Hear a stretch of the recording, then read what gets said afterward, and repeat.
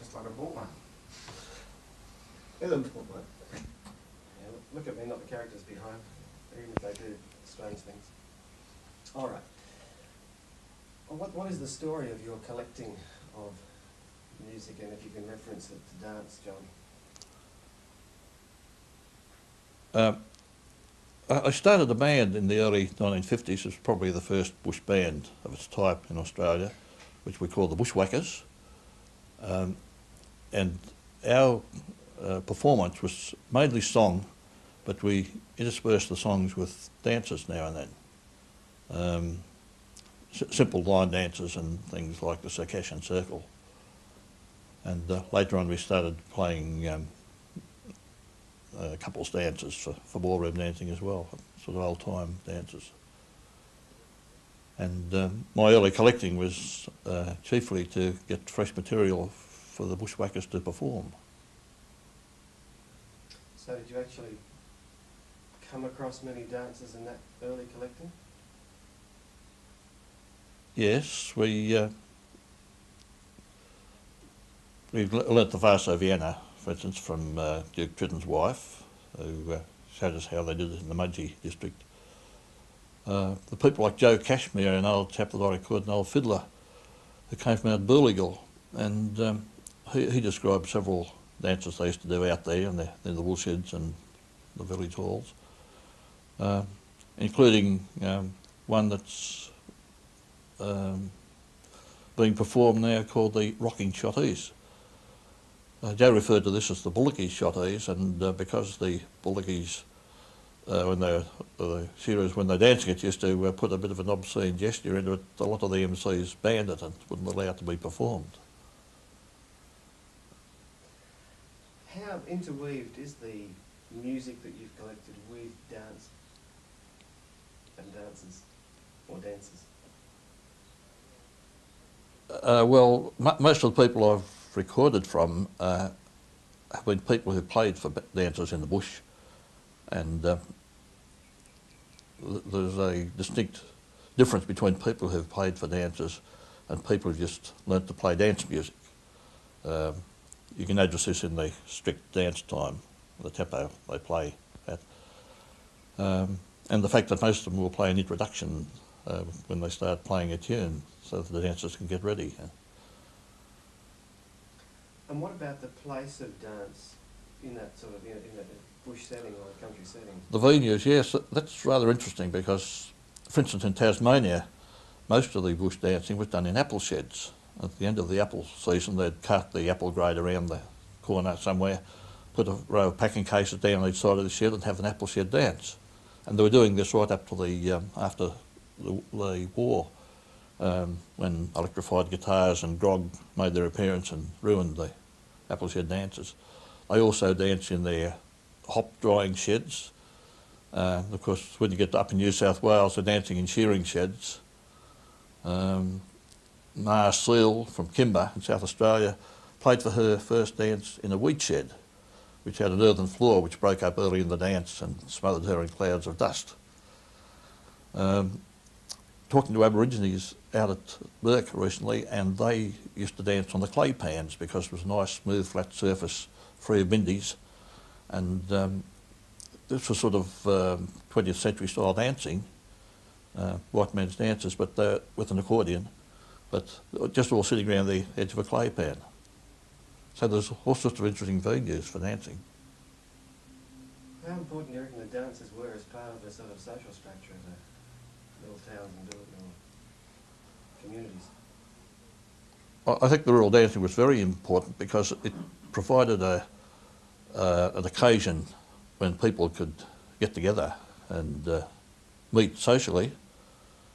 Um, transport was much slower in those days with horses and sulkies or people riding horses in and uh, farms that might be four or five, ten miles apart.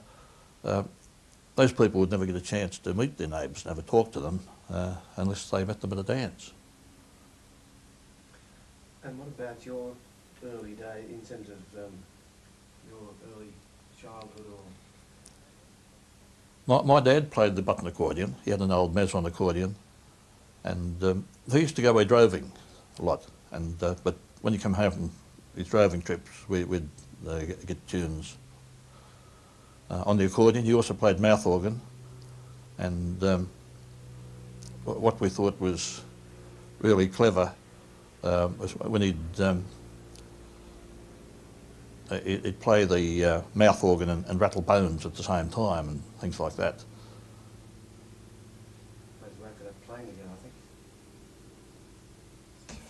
Your. Um, let me just roll some tape first. Yes, so d- d- Dad used to play an old Maison accordion. I remember it had been knocked about a bit on his driving trips. It was patched up with bits of old rag stuck on with wattle gum. Uh, it had a piece of green hide for the left-hand strap and the tongue out of a boot for the thumb strap. Uh, but in the evenings he'd sit out in the back veranda uh, on the doorstep and he'd play some of these lovely old waltz tunes, things like Jack's Waltz and so on. He also played mouth organ and uh, could also play the moans and we still love to hear him play the mouth organ and the bones together. It's got to change tapes, I'm just running out. Online? My father died when I was only eight years old, and uh, we still had his accordion, of course, and uh, it was knocking around the house, nice to get it out, play with it occasionally. And um, when I was about 14, my mother said, if, if you'll learn to play that accordion properly, uh, I'll buy you a new one. Because the old one had leaky bellows and all, and uh, so I set to work, and after a few weeks I'd mastered Swanee River, I think it was, and uh, so I got a new Melba accordion. And, uh, but I, I really learned to play on my father's old broken down Maison. Let me check this shot a second.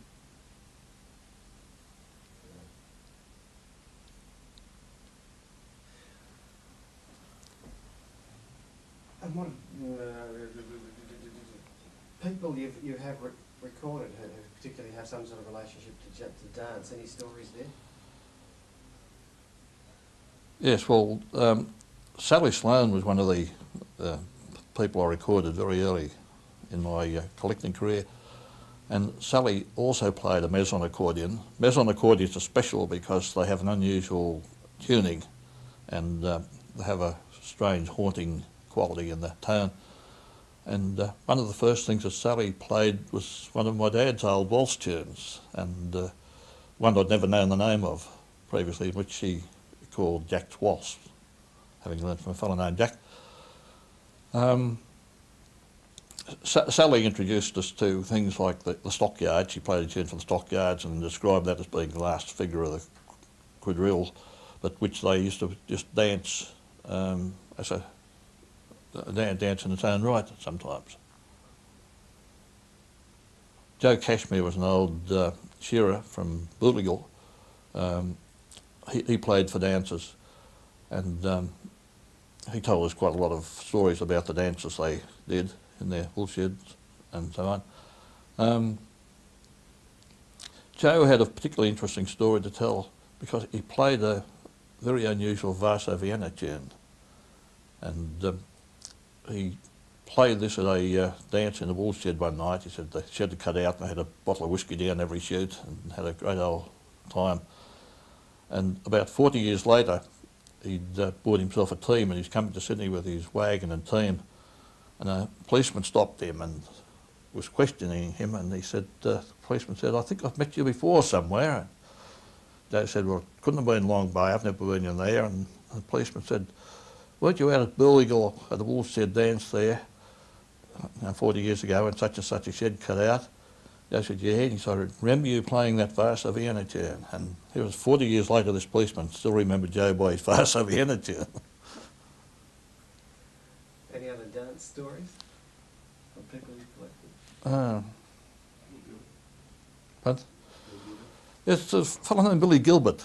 Um, he came from down the south coast originally, a, sleeper cutter in his young days, and um, he told several good stories. One was a, a bush hall or a church hall where they used to ride in from all over the countryside for Sunday morning for the church service.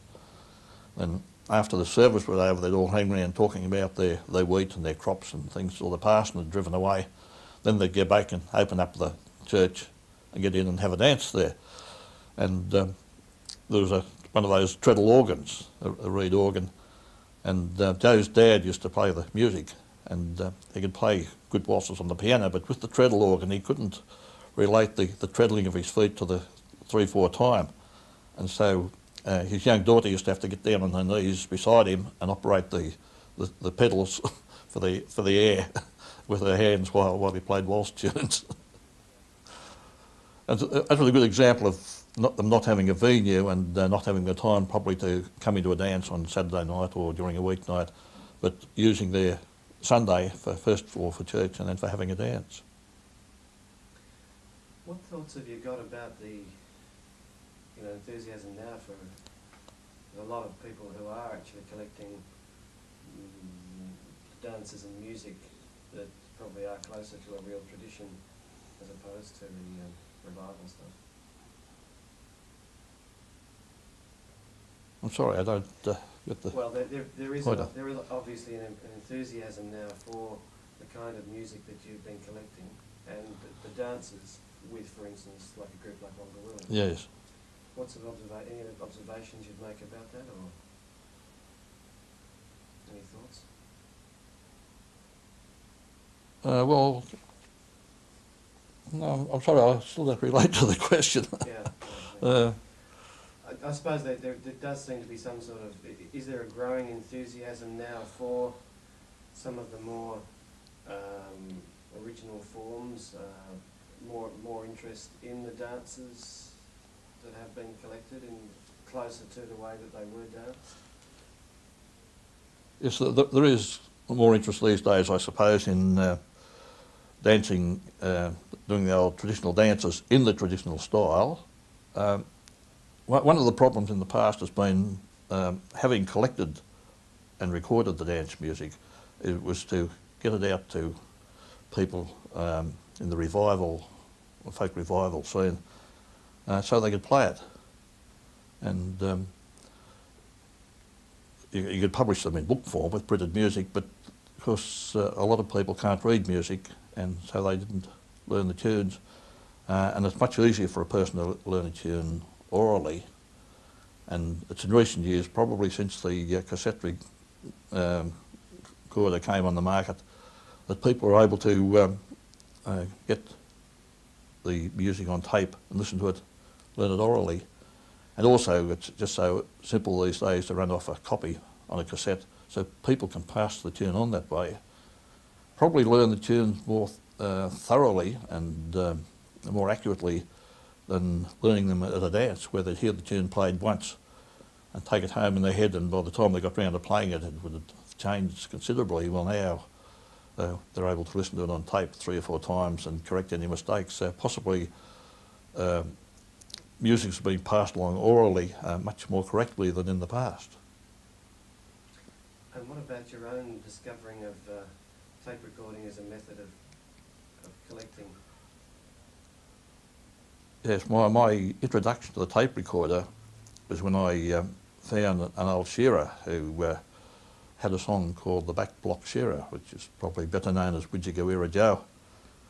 And uh, I went along with Chris Kempster to take down his song. We spent a whole Saturday afternoon. I got the words down, four verses and choruses, I think, and Chris got two lines of music out of this three or four hours' work.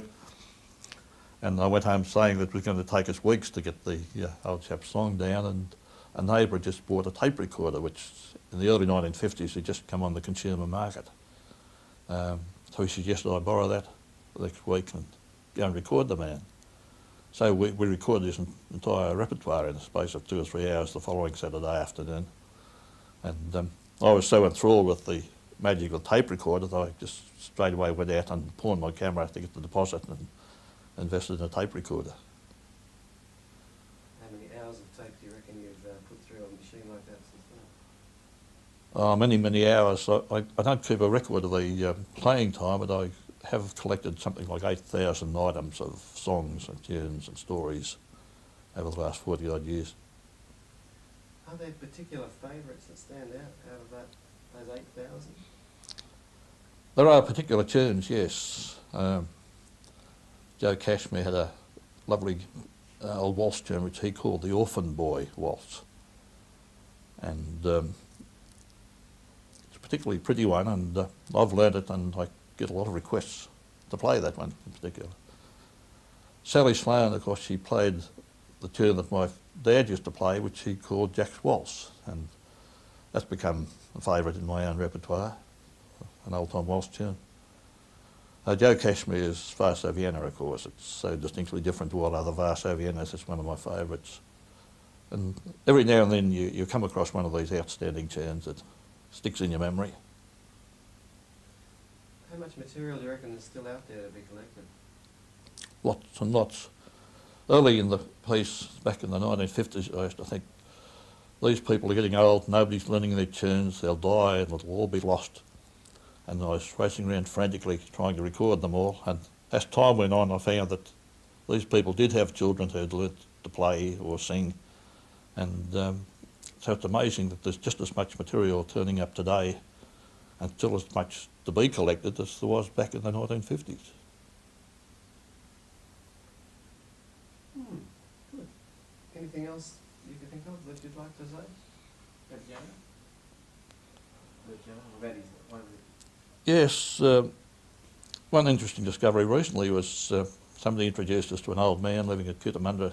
Um, I said he was an excellent mouth organ player and played a lot of old time dance tunes. This was Bert Jamison, and uh, accompanied by Rob Willis, uh, made three or four trips to record Bert.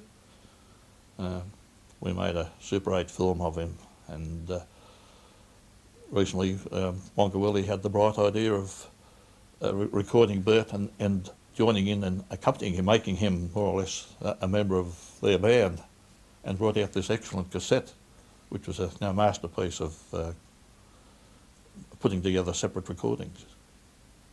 But what, what that has done is made Bert Jamison's dance tunes, which he played in the Jamison family band, has made them available to uh, dance dancers and dance musicians today. All right, Mm. let's cut that there.